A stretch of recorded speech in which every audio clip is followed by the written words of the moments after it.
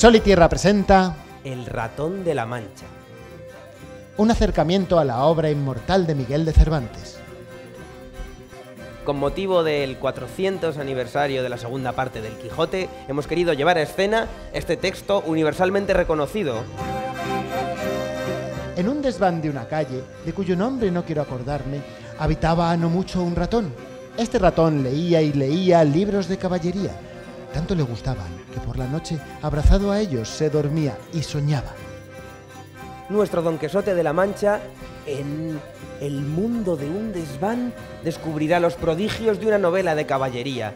Una vieja muñeca será su Dulcinea, una maleta, su corcel rocinante y un viejo ventilador, ese famoso molino que se convierte en un gigante. En este espectáculo nos hemos centrado en la parte del Quijote más cercano a los niños. Un niño que juega con imaginación, Títeres y objetos mezclados en un desván recreado a través de muebles tapados con viejas sábanas. Un mundo de realidad y ficción. Y tras la obra, todos los que hayan venido a vernos podrán disfrutar de un coloquio en el cual hablaremos sobre la obra de Cervantes y su relación con nuestro montaje.